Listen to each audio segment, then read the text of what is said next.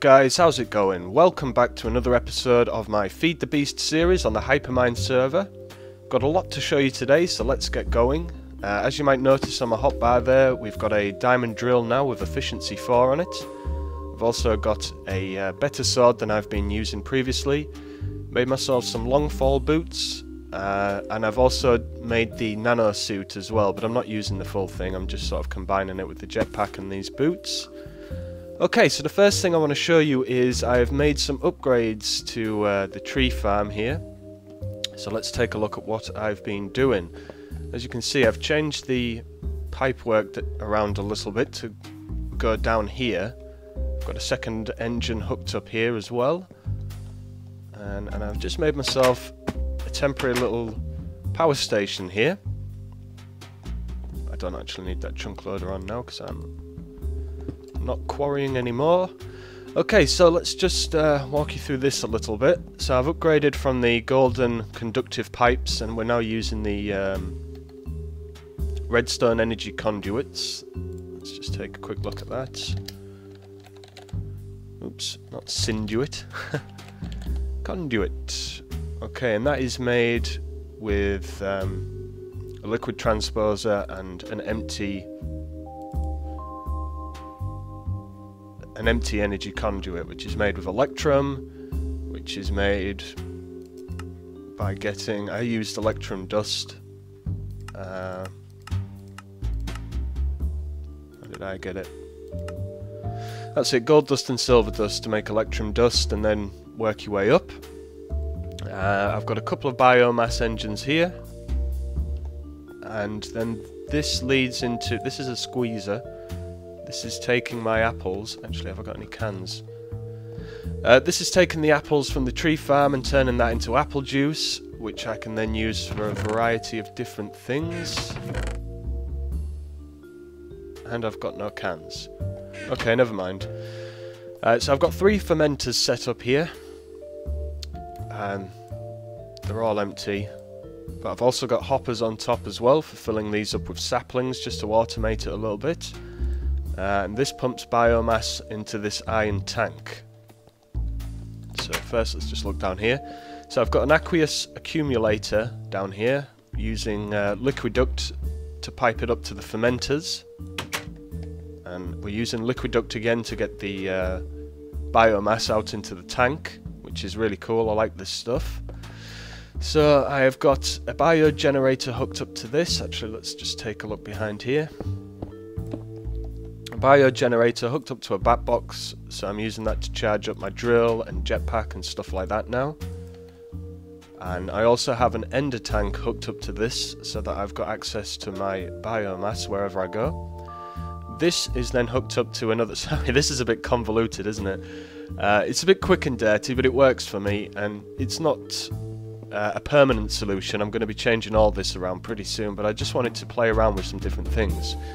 So yeah, this pumps into another biogas engine, which is recharging this energy cell. I probably don't really need this here, but there it is anyway. And the energy cell is running this excellent ME system. Um, I don't know what it is, matter energy or something. It's in the Applied Energistics pack.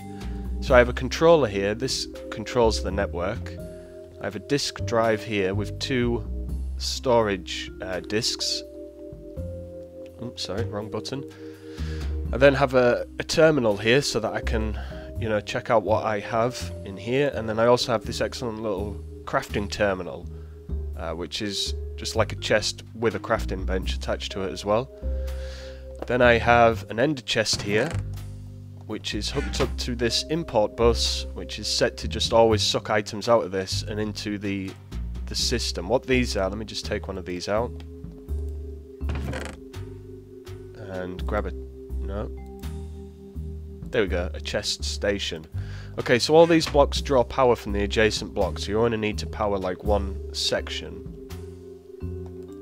Okay, so if we just plug this in, you can see right now it's greyed out, but if we put a storage cell in here, then we can see exactly what is in that storage cell.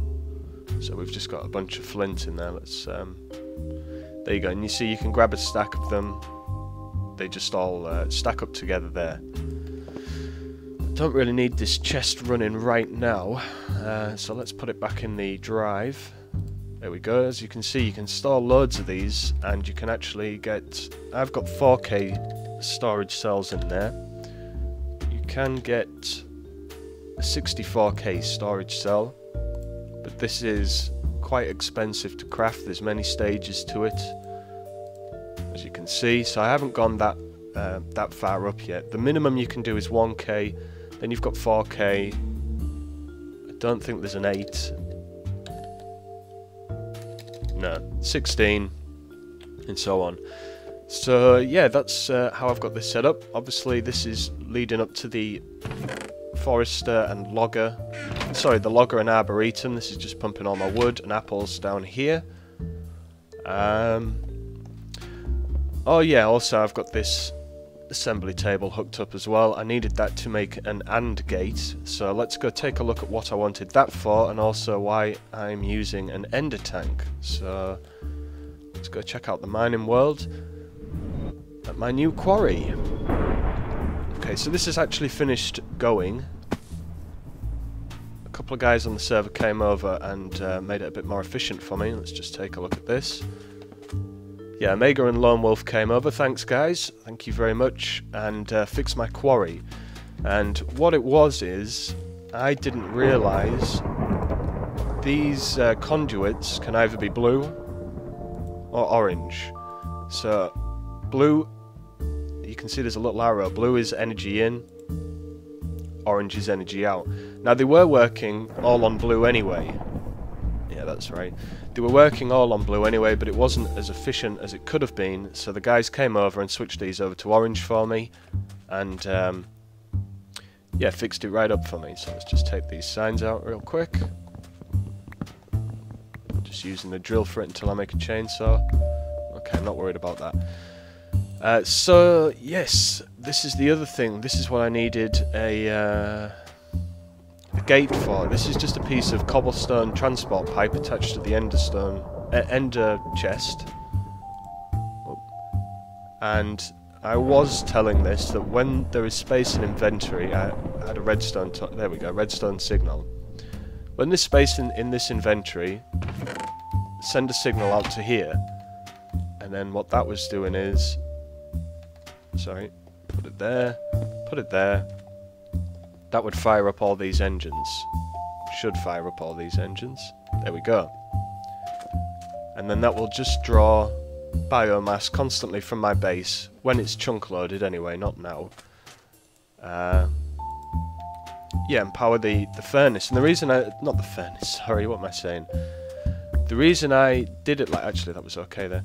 The reason I did it like this is, obviously I'm just voiding out the usual stuff that I don't want. Everything else goes into the ender chest.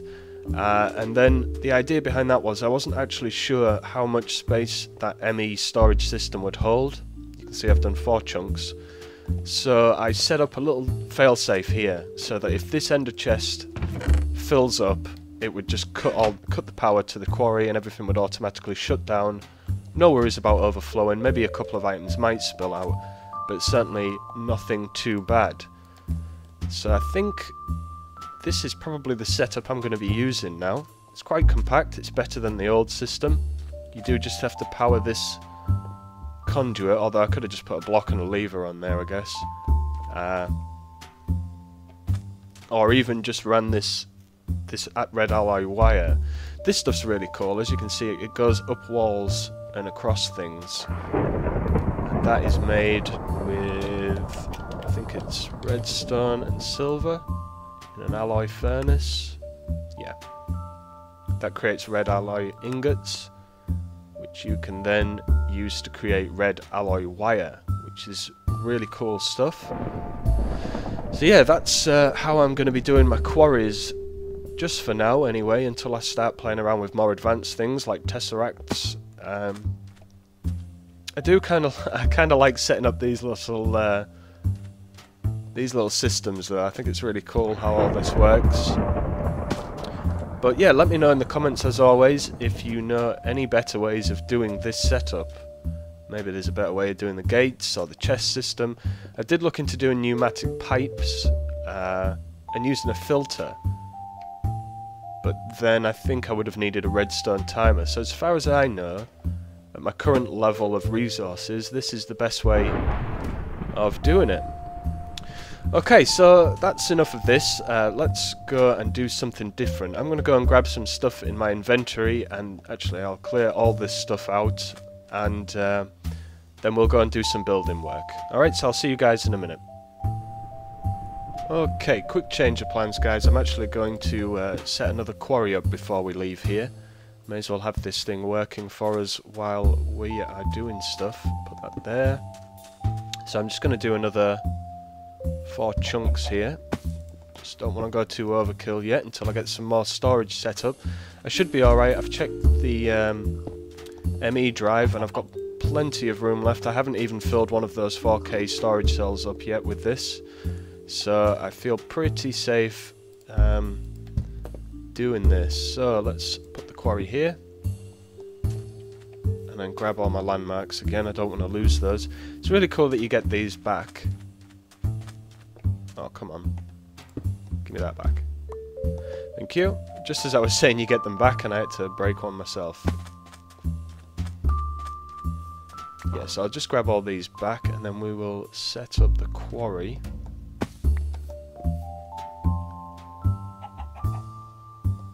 Uh, yeah, get all this stuff pumping back to us. So let's get the redstone energy conduit.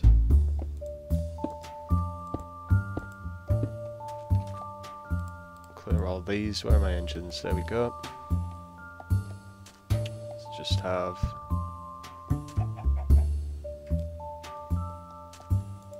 let's just have a bit extra space on this one. I did put my first engine there on the last quarry, didn't quite work out. So we'll do it like this, like so. Actually, if I was to put a block here, and then run that alloy wire up here, would that would that power them? Well, I guess we're going to find out. So, oops. Yeah. Let's just flip these conduits the right way. And now I want some liquid duct. Here we go. Like so, like so, and like so. Come out to here. And how did I have it before? Oh, I had it going down there, didn't I, to save on duct. Yeah, okay, we'll do that then because that's a bit easier. Second. Yeah, that's why I didn't like that. A bit of lag. Okay, give me that back. And then, where are we? There we go. It's those. One there, one there, one there. Let's just go out one more. And chuck our ender tank on here. Like so. That fills up. And then power the conduit. Let's set it the right way first. There we go. Okay, and we'll give these... Oh, come on. Didn't mean to right click it. Uh, lava cans, there we go. Let's just give this a few cans of lava to get it going. It should be enough, I think. Come back and check on this at another time though. Let's put... Actually, let's put... Yeah, we'll go with two and see how it goes. Okay, so now I need my diamond transport pipe, like so, uh, void pipe on the top. I should have just uh, shown you me building this instead of talking about it and then building it again, but never mind. Okay, so that's transport pipe, we'll put gate on here. And we won't send the signal just yet. I need those on me.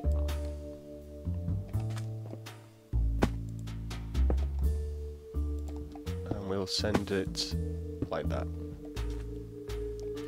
So wire down here, like so. Wire up here, and there, and there. Is that right? Is that how I had it last time? Well, it'll work, so that's all good. So let's just tell this what I don't want. Come on. Right yeah, I'm gonna have to get some, that's the problem. So, a piece of sand. Oh no. Another one up.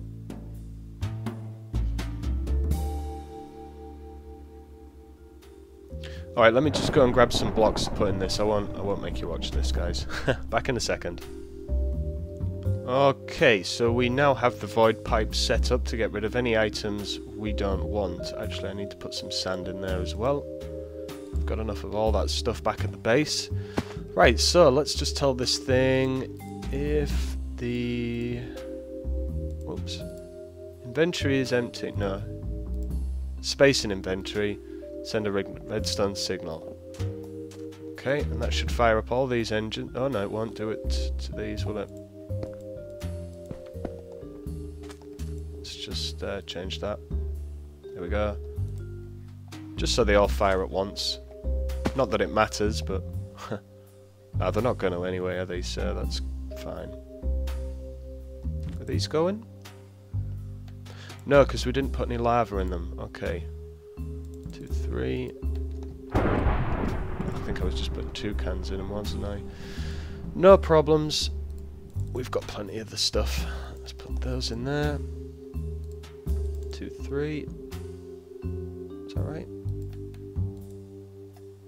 One more. So let's just uh, change this again so they all go once. There we go.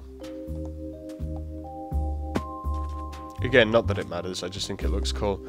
Okay, so that's now going to be clearing that out, and it'll start chucking things into the ender chest, and if it gets full, it will shut all this down, as we've already said. So yeah, that's how I set my quarry up. Um, quick and easy, works wonders. Alright, so let's get back to the base. Okay, so we're back at the base now, and I just want to try something out. Do these... Can you suck items in like that? There we go, let's just replace all this. Like so. Yeah, what I want to do is... There we go. Maybe just take some of... Can't go that way. If it went out like that. I don't know if this is going to work. Don't see why it wouldn't though. I guess that's the point of having hoppers, so that you can automate this stuff. Okay, so now that should split half the saplings. Some should go in there, some should come down to the uh, to the hoppers, I think, and then that should keep these filled up with saplings. Hopefully, anyway. Hmm. Let's just flip these on. Just one at least, anyway. We do have some saplings in here already. Got the chunk loader going again because obviously I need my storage system to be working. I need this to be producing power. Hmm. Okay, let's just go back up and see if this is working. Oops. There we go. Oh yeah, it's not going to happen if we just watch it though. So I tell you what, let's go work over on the base a little bit. We haven't got much time left in this episode, but um, now that we've got a good source of power going and we've got the quarry sort of working automated into a storage system, got a lot more time to be putting into the base now. Uh, the only thing I'm a bit disappointed with at the moment is I've had to, I was using a Faithful 32 texture pack for Feed the Beast Ultimate, but I was having some texture problems uh, with some of the mods. I'm not sure which ones at the moment. I haven't really done much troubleshooting. So for now, I've gone back to the same Faithful 32 I use in my single player LP, which means some of the textures uh, are going to be just standard. They aren't going to be upgraded. So there's a bit of a, a bit of a problem with that. Let's grab some of these. Uh, I am going to check out Zueljin's texture pack though. I think he might have a working faithful, whoa, faithful texture pack. So I'm going to give that one a go. I did play in default for quite a while, and I do like the default texture to be quite honest, but you get so used to, you know, having a certain look about your Minecraft. Uh, you know, you want it to look the way you're used to, I guess. I'm still not overly happy with the way this is going yet. Let's just uh, bring that stair up. Yeah, actually thinking about this, I'm going to bring both these sides down and I'll go up there. Uh, do do do do slabs then, like that. Yep. And I think we are going to go down. Going to flow a bit better if it goes down and we have a section that goes up as well.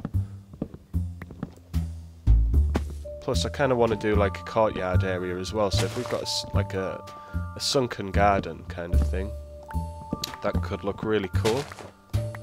Let's just clear that tree out of the way. Of course, this is going to change all the wall as well now, so I really should just play around with this off camera until I've got um, something more definite.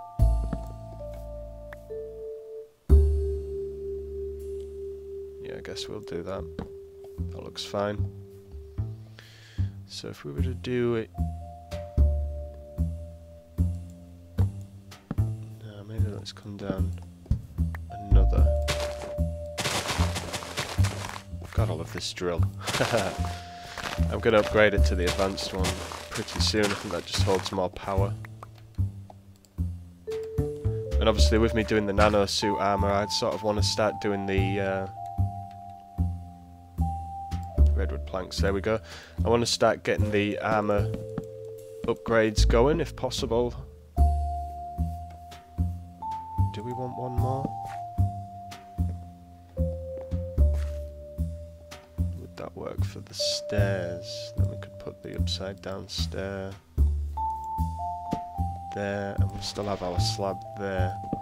Maybe that's the level we need to go at. So our floor might come through here, I guess. That seems reasonable enough. Let's get rid of this horrible column now. That was really beginning to bother me. There we go. Hmm, of course, this is going to throw a spanner in the works here, isn't it? To do... No.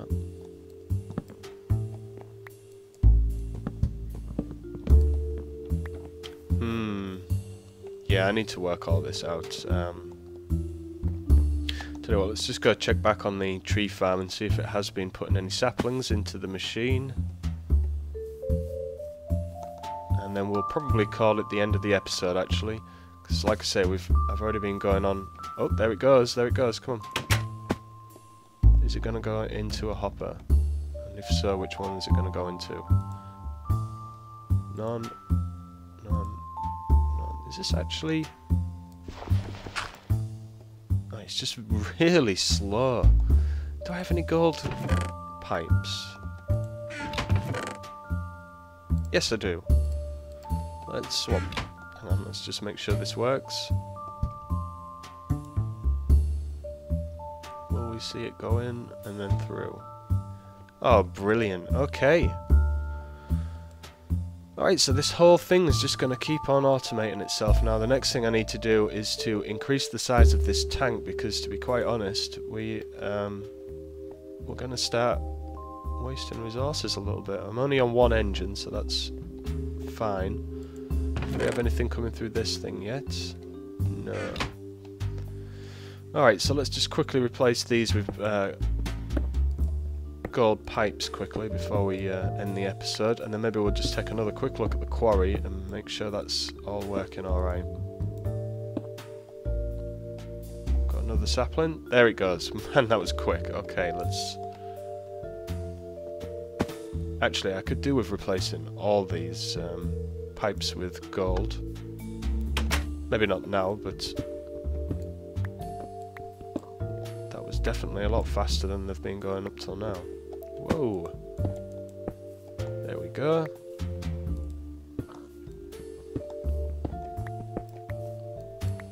So I'll just do it from there, I guess. May as well have these all gold. We're not short on resources now, so we can afford to do it. Plus, it gets the entities out and moving quicker as well, so that's a benefit. Do these, and then we'll go down and finish that off.